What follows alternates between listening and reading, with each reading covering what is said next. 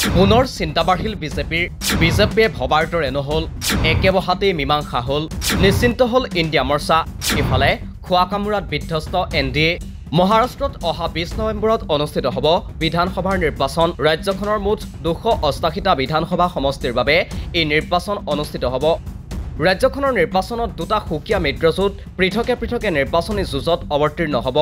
ইয়াৰে এটা বিজেপি নেতৃত্বাধীন এন ডি এ আৰু আনটো ইণ্ডিয়া মিত্ৰজোঁট অৰ্থাৎ মহাবিকাশ অঘাৰী এন ডি এ মিত্ৰজোঁটত আছে বিজেপি চিণ্ডেপন্থী শিৱসেনা আৰু অজিত পাৱাৰপন্থী এন চি পি ঠিক সেইদৰে ইণ্ডিয়া মৰ্চাত আছে কংগ্ৰেছ থাকৰেপন্থী শিৱসেনা আৰু শাৰদ পাৱাৰপন্থী এন চি পি বিজেপি নেতৃত্বাধীন এন ডি এৰ মিত্ৰজোঁটত আসনক লৈ যথেষ্ট খামখেয়ালিৰ সৃষ্টি হৈছে। তাৰ বিপৰীতে ইণ্ডিয়া মিত্ৰজোঁটত তেনে খামখেয়ালি নোহোৱাকৈয়ে কোনে কিমানখন আসনত প্ৰতিদ্বন্দ্বিতা আগবঢ়াব সেয়া প্ৰায় চূড়ান্ত হোৱাৰ পথত। ইতিমধ্যে তিনিটা গুৰুত্বপূৰ্ণ দলৰ মাজত এটা সিদ্ধান্ত হৈছেগৈ যে কংগ্ৰেছে অধিক আসনত প্ৰতিদ্বন্দ্বিতা আগবঢ়াব আৰু কংগ্ৰেছ হ'ব ব্ৰিক ব্ৰাদাৰ। সেই অনুসৰি কংগ্ৰেছে মুঠ এশ পোন্ধৰৰ পৰা এশ ঊনৈছখন আসনত প্ৰতিদ্বন্দ্বিতা আগবঢ়োৱাটো নিশ্চিত হৈছে। আনহাতে উদ্ধৱ থাকৰেপন্থী শিৱসেনাই পঁচাশী অথবা ছয়াশীখন আসনত প্ৰতিদ্বন্দ্বিতা কৰাৰ সম্ভাৱনা আছে। ঠিক সেইদৰে শাৰদ পাৱাৰপন্থী শিৱসেনাই পঁয়সত্তৰখন আসনত প্ৰতিদ্বন্দ্বিতা কৰাৰ যোজা চলাইছে। তদুপৰি অখিলেশ যাদৱৰ সমাজবাদী পাৰ্টীৰ বাবে দুখন আসন এৰি দিয়াৰ সিদ্ধান্ত লৈছে যদিও অখিলেশ যাদৱে বিচাৰিলে আন দুখন আসন এৰি দিব কংগ্ৰেছে।